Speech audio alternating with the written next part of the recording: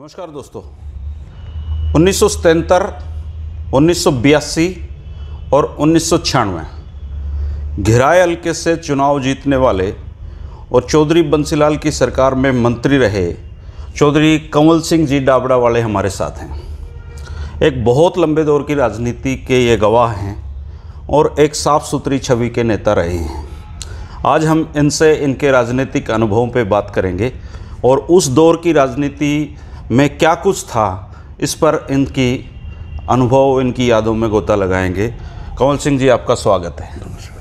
अब तो आप चुनावी राजनीति से बिल्कुल दूर हो गए हो? नहीं मेरी एज इतनी हो गई कितने साल की उम्र हो गया मैं एट्टी फोर्थ में चल रहा हूँ। 84 में। अब कोई दिलचस्पी नहीं है नो मतलब ही नहीं है। मैं फिट भी नहीं हो सकता मैं। हम्म। मैंने तो आधा आदमी पॉलिटिक्स आदमी को तो आधा पावड़ा भी बना दिया दफ़ा। हम्म। चौदह में मैं बीजेपी में चला गया। था। और मैं टिकट मांग रहा था इसे नलवा से। अच्छा। क्योंकि बरवाड़ा हल्का बनने बाद तो बिगड़ गया जाट कोई वो पोजिशन नहीं रही जी। तो फिर वो नहीं हो चौदह में तो मास्टर हरि सिंह को मिली थी ना शायद यहाँ से? पाया। मास्टर जी को मिल गई थी। हम्म, हम्म। लेकिन रिज़ल्ट क्या अगर मेरे को टिकट होती तो मैं जीतता उसमें। अच्छा अच्छा। मतलब ये लास्ट चांस था आपका। अब फिर अब बीजेपी में ही हो आप या बीजेपी नहीं मैं तो फिर उसके बाद मैं बीजेपी उसके बाद क्या हुआ कि खट्टर आया रेस्ट हाउस में। हम्म और मैं भी चला गया मुख्यमंत्री यार है चलो भाई मेरी खट्टर से कोई जानकारी थी नहीं।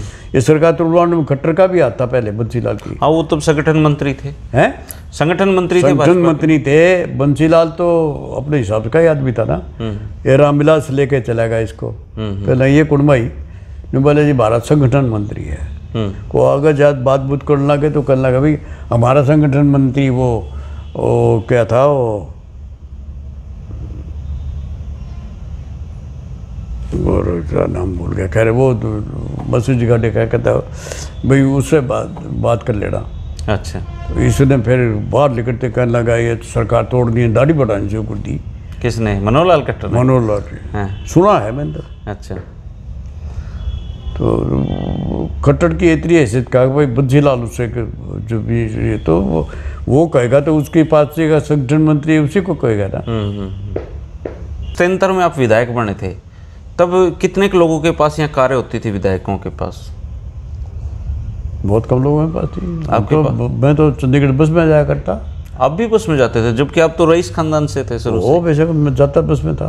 अच्छा अच्छा। गाड़ी थी मेरे पास अच्छा। लेकिन बस में जाता था। अच्छा। लोग कह दिया तू साहब तू एम एल ए हो कभी बसा डंडे तोड़ से। मैं मैं तो बसा ही डंडे तोड़ूँगा। बहुत देर तक जाते जो सूरज पीरचंद में साथ जाता था कई जाते थे हम बसों में बहुत एम एल हाँ हम देवीलाल के साथ भी रहे सेम से देवीलाल के साथ था मैं। जी। क्योंकि बेसिकली तो चो चरण सिंह के थे ही ना लीडर देवीलाल के अगर हमारे डिफरेंस देवीलाल से हुए तो चो चरण सिंह की वजह से हुए। मेरा तो कोई मेरा ये ख्वाब तो नहीं मेरा नहीं था कि मैं देवीलाल को उठा के मुँह बन जाऊँ लेकिन हम जब चरण सिंह को फॉलो रहे हैं देवीलाल का चरण सिंह का झगड़ा होगा तो हमारे से कुदरती झगड़ा है। जी। तो उस दौर में ये पैसे पूसे कमाने वाले कल्चर कब से शुरू no no no no Devilal बयासी में जब देवीलाल भजनलाल ने देवीलाल को पकड़नी दे दी ना जी। उसके बाद इनको ये हुआ कि वो हो पैसा होना चाहिए। अच्छा। क्योंकि बयासी के चुनाव के बाद में सैतालीस एम एल हमारे पास थे। हम्म। इसके पास थोड़े थे भजनलाल के पास। गवर्नर ने इनवाइट कर लिया था। तपस्या ने हैं जी? तपस्या तपासे ने इनवाइट कर लिया था। मंडे को। In the mean time Bhajanlal ने क्या किया? हालाँकि बेवकूफ़ी थी। देवीलाल हमेशा के लिए ख़त्म हो जाता अगर इसको सरकार बना लेते। जब छिहत्तर एम एल लेके भी दो साल सरकार नहीं चला सका चला तो देवीलाल। तो ये सैंतीस एम एल ए सैंतालीस एम एल लेके कैसे चला देता? सैंतालीस में तीन चार तो इंडिपेंडेंट थे और बीजेपी भी थी। बस लेकिन वो भजनलाल का जल्दी हो गई इसने सुल्तान जी को भेज दिया इंदिरा के। पास गया कहने लगा बहन जी ये देवीलाल बन गया तो तेरा नाक बंद हम कर देगा। जिस तरह चरण सिंह के रैली कर करके मुराद जी सरकार हरा दी तेरे पे ला देगा। हरियाणा तीन पास ऐसे दिल्ली का। उसने कुछ पास कह दिया उसने शपथ दिला दी इसको। आप ये समझो कि वहाँ से शपथ दिलाने के हम परवाणु में थे। खबर आई कि बदलाल को शपथ दिला दी। तो वहाँ सरदार लक्ष्मण सिंह और ये के है वो वो क्या करता है चपड़ासी था दो तीन महीने बनने गया। चपड़ासी थे वो? पहले बगदाल के वक्त तो चपड़ासी से टिकट दिवा दी थी। तीन चार में एम एल बना फिर वज़ीर भी बना वो तो इससे नारायणगढ़ से। अच्छा। वो उन वो यूँ हो गया जिस तरह छुई में को हाथ लगाते तो पते तो यूँ हो गया। अच्छा। और वहाँ से चले ये कभी दिल्ली चले अब शपथ दिला दी तो राष्ट्रपति क्या करेगा? हम्म। अकल की बात। मैंने इनको कहा मैंने कहा भाई यूँ को यूँ सारे इकट्ठे के टक्के कलकत्ता चलो। अच्छा। पर पैसा कौन खर्चा है? कलकत्ता? हाँ। कलकत्ता क्या करना था? सीपीएम का राज था। ना अच्छा। हम्म। वहाँ से कोई टच नहीं कर सकता था। हम्म हम्म, तो यहाँ से ये दिल्ली ले गए। दिल्ली में यो ब्रिजमोहन सिंगला तो रणजीत होटल में से ही भाग गया। अच्छा।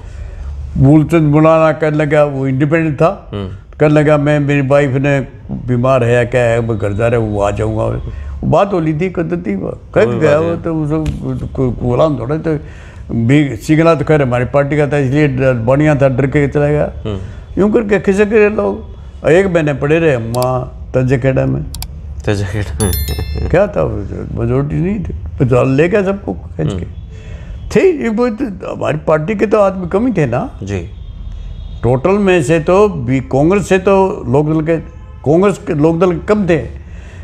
बयासी में मेरे तो हराने की दिन रात कोशिश करी करी देवीलाल ने। संपत जो था ये हमारी पार्टी का थोड़ा था। हम्म हम्म। ये तो इमीडिएट इंडिपेंडेंट बना था। हम्म। तो ऑन रिकॉर्ड तो लोकदल के एमएलए कांग्रेस से कम थे। अच्छा अच्छा। तो तपासे को ये बांधना तो था लेकिन वैसे तो खैर क्योंकि सिग्नेचर सैंतालीस के थे वो सो तो उसने जानबूझ शरारत की थी। लेकिन मैं ये कहता हूँ अगर देवीलाल को सब देलाल दे तो चार महीने से फालतू देवीलाल की सरकार नहीं चली तब भी नहीं चलनी थी। और फिर बदनाम नहीं होता। सतासी में जो रिज़ल्ट हुआ वो बयासी में जो सपा से रही और का उसका रिज़ल्ट था। मैंने देखा आपने घर पे किसान आंदोलन का झंडा लगा रखा है। मैं तो किसान हूँ। आप समर्थन कर रहे हैं किसान आंदोलन का? है जी। किसान आंदोलन का समर्थन कर बिल्कुल करते हैं। मेरा टैंकर गया वहाँ वहाँ। अच्छा अच्छा। हमारे गाँव से ट्रैक्टर गए हुए हैं। हमारे गाँव से हमने एक डेढ़ लाख के करीब तो एक इकट्ठा किया था दो सवा दो इकट्ठा किया था और आगे ज़रूरत पूरी और इकट्ठा करके भेजेंगे। अच्छा अच्छा।